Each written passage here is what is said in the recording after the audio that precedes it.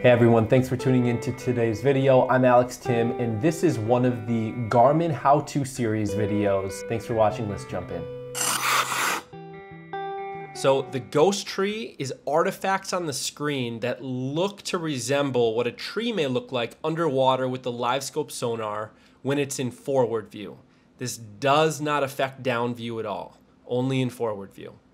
This ghost tree is caused by reflections of the sonar bouncing off the bottom of the lake and creating interference on the screen. The ghost tree is most common to be seen in shallower water with a hard bottom.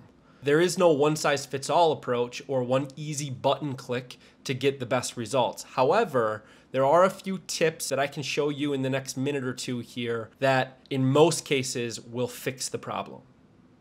So the first thing is noise rejection. So noise rejection is a setting that can help reduce the interference that you're getting, which is causing the ghost tree. It's something that's been around for quite a while, um, but it does help with the ghost tree in some situations. You can get to the noise rejection setting by clicking on menu, sonar setup, noise reject, and then you have an option for off, low, medium, or high. One note on noise rejection on why sometimes it actually is detrimental is that it can create a blind spot where the ghost image was located previously. For this reason, Garmin actually released the new setting that a lot of you may have heard about, maybe haven't used yet, which is called Ghost Reject. The Ghost Reject setting is essentially shifting more of the transmit power of the sonar to the forward looking sonar, and it's reducing the strength of the bottom facing sonars, helping to reduce the interference from the sonar reflection that's causing the ghost tree.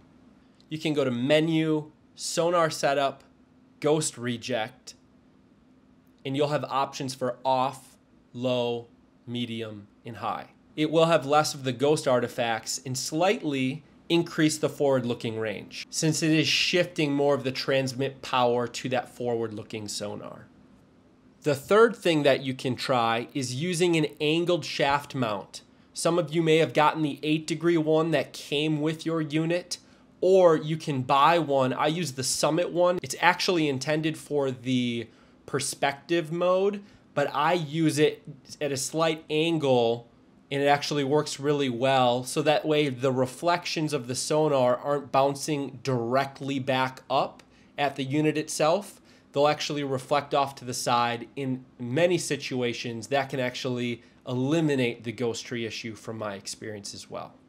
By using either the noise rejection setting, the ghost rejection setting, or the angled shaft mount, or a combination of them, I've found in most cases I'm able to eliminate or significantly reduce the appearance of the ghost tree on my Garmin unit.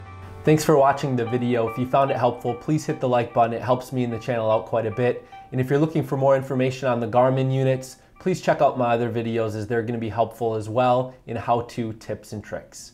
Thanks for watching, and until next time, take it easy.